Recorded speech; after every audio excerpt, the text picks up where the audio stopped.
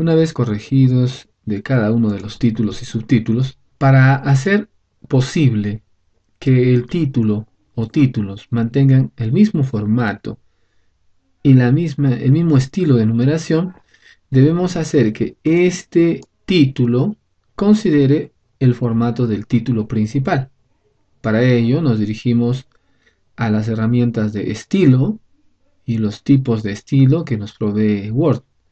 Si elegimos de forma directa un estilo, este estilo cambiará la forma en que está escrito nuestro título.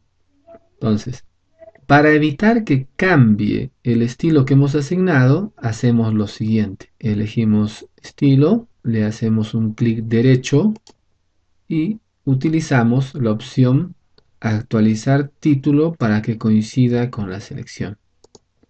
Al hacer esto, el título ahora, o del título principal, tiene el formato que nosotros hemos asignado ¿no? en nuestro respectivo esquema.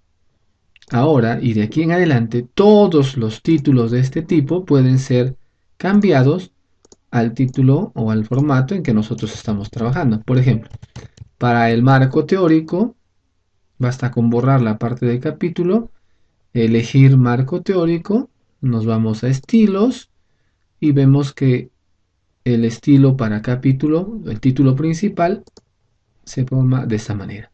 Después de ello viene el, capítulo número 3 e igualmente se procede a asignarle el estilo correspondiente. Ahora corresponde hacer lo propio con el subtítulo 1, que en este caso para nosotros sería título del tipo 2.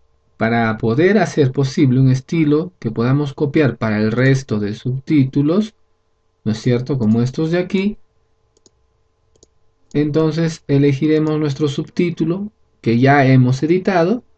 Nos vamos a estilos, elegimos título 2, clic derecho, actualizar título 2 para que coincida con la selección.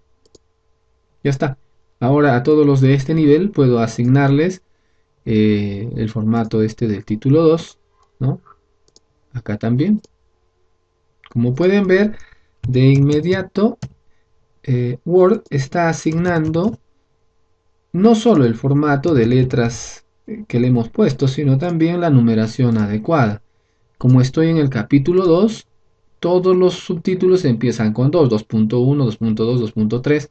Lo mismo sucede y acontece con el capítulo 1. Y lo mismo va a suceder y tiene que suceder con el capítulo 3 y sus subtítulos. De hecho, hay que borrar algunas partes que ya son innecesarias ejemplo esto, y listo. Si hubiera más que hacer respecto al cambio de formato para los subtítulos, tendríamos que hacer lo mismo. Nos falta un tercero, que es un subtítulo del subtítulo, este. En este caso, tendré que nuevamente tomar en, en estilos el tipo 3, título 3, hacer un clic derecho, actualizar título 3 para que coincida con la selección y ya está. Ahora lo único que me queda es borrar lo innecesario en cada uno de estos subtítulos y en este subtítulo aplicar el estilo que acabamos de crear. Lo mismo pasa aquí. Eh, hay que borrar lo innecesario, siempre, lo que ya no es necesario, y asignar el estilo correspondiente. Como pueden ver, todo esto ha hecho que sea posible una mejor manera de trabajar. Para las conclusiones, sugerencias bibliográficas, asignaremos y le diremos que lo haga según el título 1, ¿no? estilo 1, que también vamos a modificar para lograr que coincida con nuestro formato. Bien, una vez hecho esto, bueno, hay que asignarle uno a uno el estilo correspondiente para lograr mm, que se mantenga tal como nosotros esperamos. Listo. Ya está puedo crear mis propios estilos. ¿Por qué? A veces es necesario, debido a que, a ver, veamos. Eh, voy a poner en normal para empezar ahí. Es necesario para poner, por ejemplo, el título. En nuestro caso, el título de nuestra investigación es este de acá, ¿no? Mejorar la... etc. ¿no? Entonces, el título general, a veces bien puesto en el tema de investigación, se coloca al inicio del trabajo de investigación.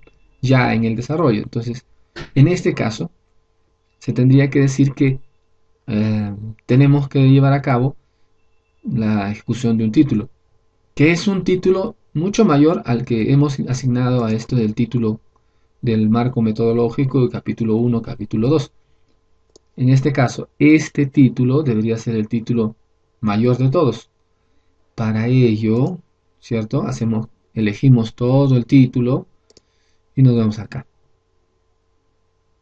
Y aquí podemos decir, Guardar selección con nuevo estilo. Entonces podemos asignarle clic, ¿no? Y ponerle acá, ¿no? El nombre de título general. Porque es el título de todo el trabajo. Y hacer clic en aceptar o en modificar si es que en algo quiero cambiar el estilo de letras, etcétera, etcétera, ¿no? Que en este caso no, no necesitamos porque ya tenemos el formato adecuado para las letras y no hacemos más que aceptar. Entonces, ahora tengo un nuevo estilo, se llama título general y es el que se aplica al título general de nuestro trabajo. Bien, ahora podré agregar partes que ya haya eh, ejecutado anteriormente. Como en nuestro trabajo actual ya hemos avanzado con el tema del planteamiento del problema, identificación del problema y las demás partes, entonces aquí, por ejemplo, lo que faltaría sería identificación del problema. Listo. Ahora, es eh, menester también decir que en el caso concreto de cada uno de estos subtítulos, es bueno eh, modificar algunas cosas. Por ejemplo, después del subtítulo que debe seguir, otra vez es otro subtítulo, no. Miren, entonces dice acá, nombre, título 1, estado, párrafo de lista, estilo de párrafo siguiente, siguiente, normal. Está muy bien. clic en aceptar. Entonces quiere decir que cuando yo haga clic, este formato ya volvió a ser normal, ya no es el subtítulo que, estábamos usando. Entonces, este formato normal es el que se aplica a esta, a esta siguiente secuencia. Pero formato normal sería siempre y cuando yo tendría una justificación con una sangría justo al final de los márgenes. Pero en este caso yo necesito que mi texto empiece justo debajo de identificación, que sería el margen para estos párrafos. No puedo escribir por debajo o antes de la numeración de mi encabezamiento, título o subtítulo. Por lo tanto, habrá que modificarlo. Entonces, eh, tomamos el estilo de la sangría, le colocamos la sangría correspondiente.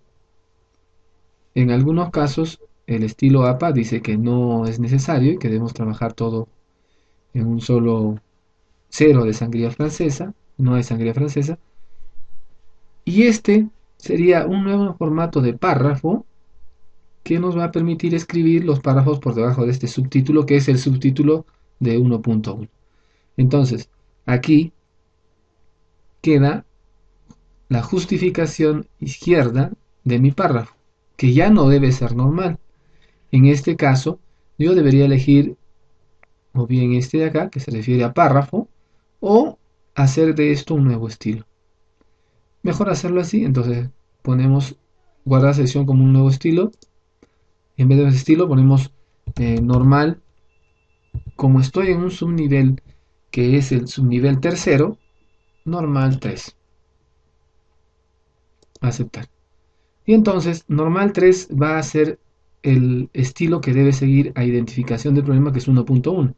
Así que en este caso eh, haremos lo siguiente. Clic derecho, y agregaría cambiar nombre, modificar.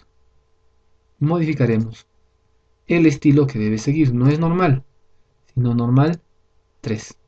Aceptar. Entonces, ya, porque es que damos un enter, lo que va a seguir a continuación es el estilo normal 3. Algo similar debería haber hecho con los subtítulos. Y a ver si en este caso tengo que escribir algo después de este subtítulo. Valdría la pena especificar que después de este subtítulo debe seguir un normal 2, que sería entre el normal y el normal 3, un estilo de intermedio. Entonces hacemos un enter, está en normal, pero debemos cambiar la sangría. como pueden ver lo coloco justo en, en este ámbito y ahora sí decimos para crear un nuevo estilo. Que en este caso vuelvo a insistir será el normal 2 porque es intermedio entre el normal y el normal 3 aceptar entonces ahora sí por cada vez que hago un enter lo que a continuación debe seguir debe ser no normal sino normal 2 entonces vamos a cambiar eso. Eh, nos vamos al estilo correspondiente clic derecho y hacemos en clic en modificar. ¿qué debe seguir? normal 2 no normal.